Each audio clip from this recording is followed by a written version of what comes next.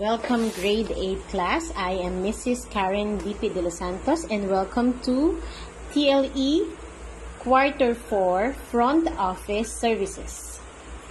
For module 1 entitled use tools, equipment and paraphernalia. At the end of this module, you are expected to first identify the equipment, tools and paraphernalia in front office services. Second, describe equipment, tools, and paraphernalia based on the specific task. And third, display patience in classifying equipment, tools, and paraphernalia. For activity 1, read each item carefully and write the tools, equipment, paraphernalia that corresponds to the meaning functions from each item. Write the answer on a separate sheet of paper. With the new normal, you have observed people who work as a receptionist in a hotel. Since you are not allowed to go outside and conduct an interview in the hotel, what would you do to identify their tools, equipment, and paraphernalia in performing their job? Okay, think about it. For activity 2, list at least 12 tools and equipment and paraphernalia based on what you observe in front office services and classify them accordingly. Write your answer in a separate sheet of paper. Now, what is front office department? Front office department is the one of the many departments of the hotel businesses which directly interacts with the customers when they first arrived at the hotel. The staff of this department is very visible to the guest. Front office department includes front desk,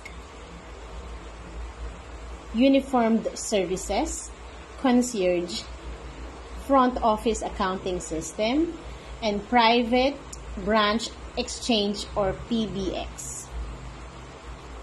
These are the examples of uh, tools, equipments, and paraphernalia such as PABX, key rack, computer, printer, credit card imprinter,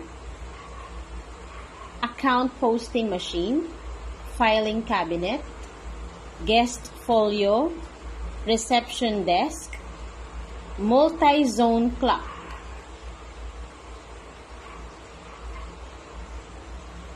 Now, let's answer activity 3, matching type. Match the meaning and functions in column A with the terms in column B, right? Only the letter of your answer.